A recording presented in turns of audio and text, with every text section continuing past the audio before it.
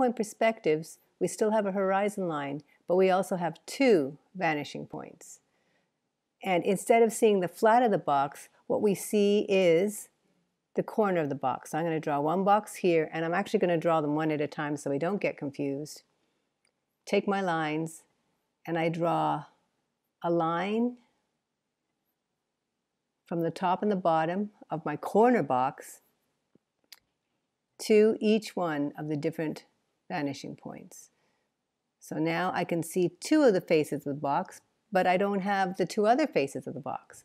So I'm going to have to draw arbitrary parallel lines to that middle line, this one here, on either side, and this is going to be a rather narrow box on this side.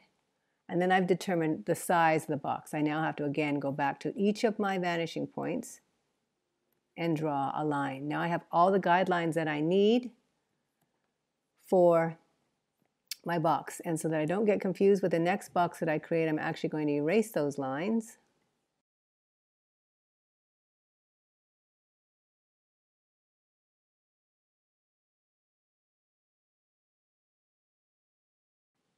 Now we're going to try one more box. This time we're actually going to put it on the horizon line.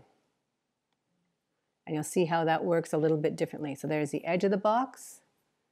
Again, I'm going to draw lines from here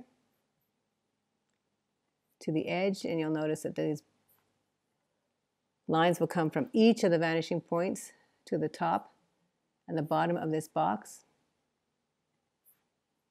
However, because we don't see the top or the bottom, because this is on the horizon line, I don't have to create those extra lines. I just need to make my arbitrary lines for the other two faces or sides of the box. And again, we'll make another kind of narrow box.